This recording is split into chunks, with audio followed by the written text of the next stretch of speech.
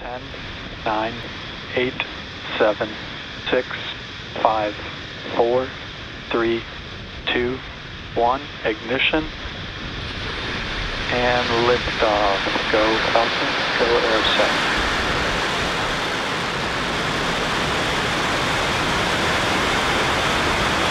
Vehicle pitching downrange. Stage 1 engine chambers, pressures are nominal.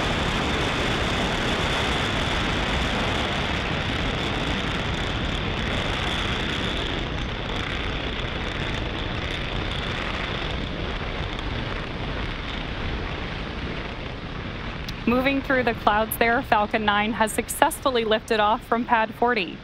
Coming up next, we'll throttle down the nine Merlin engines on the first stage to prepare for max Q at about T plus 1 minute and 12 seconds. Power and telemetry nominal.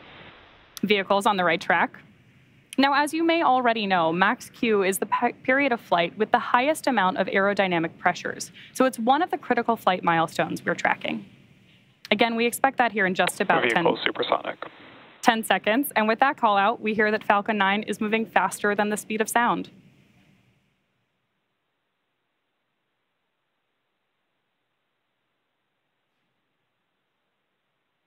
Max Q.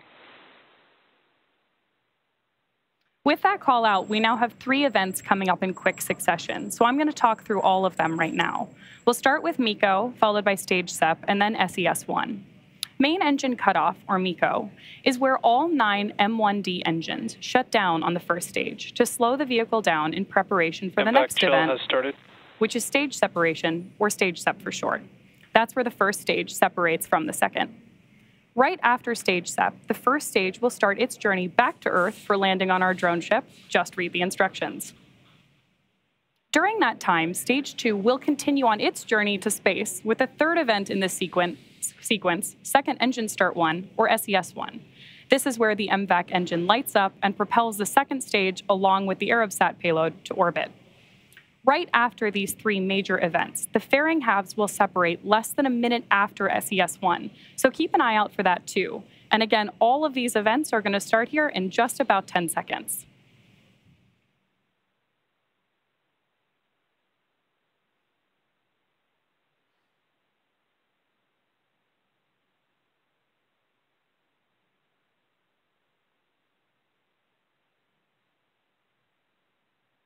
And MECO.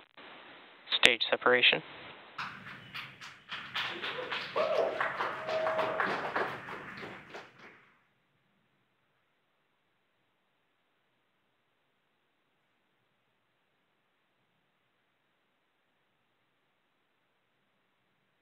With that, we have confirmation of main engine cutoff, stage separation, and you can see there on the right-hand side of your screen, second engine start one.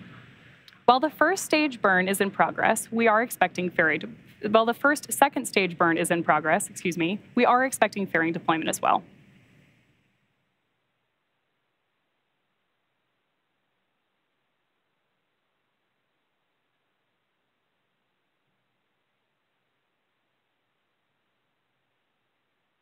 Fairing separation. Wow, great view of fairing separation there on the right-hand side of your screen. It is now T plus 3 minutes and 40 seconds into today's mission. In order to complete today's landing, the first stage has two Acquisition burns. of signal, Bermuda. The first stage has two burns left. Right now, we're watching the MVAC burn on the second stage. MECO 1.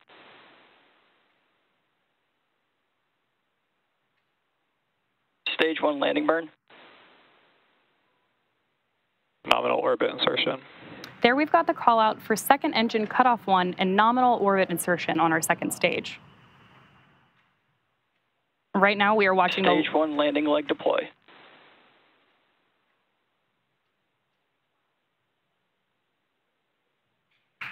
Stage one landing confirmed.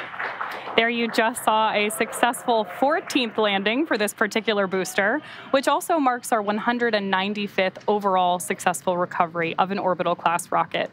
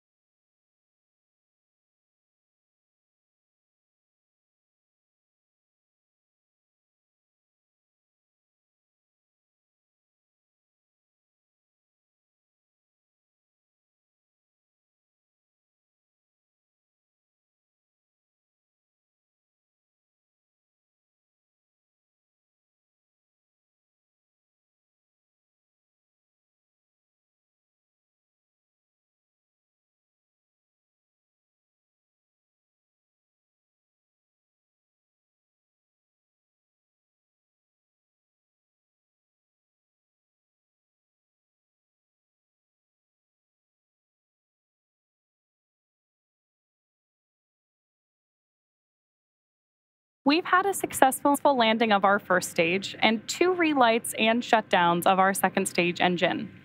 Now we're coming up on our last major milestone, which is payload deployment, and that should happen here in just about 20 seconds. Our customer today, Arabsat, is a satellite operator and leading satellite services provider. The payload on board our second stage today, BADR 8, will provide connectivity over Europe, the Middle East, Africa, and Central Asia.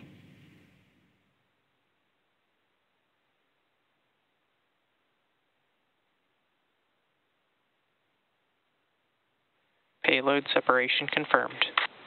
There's that gorgeous view on your screen there of the successful deployment of the Arabsat BADR 8 payload. With that confirmation, we'll bring today's webcast to a close. We want to thank our customer Arabsat for entrusting us with today's mission and all of you for joining us. Thanks for tuning in. We'll see you next time.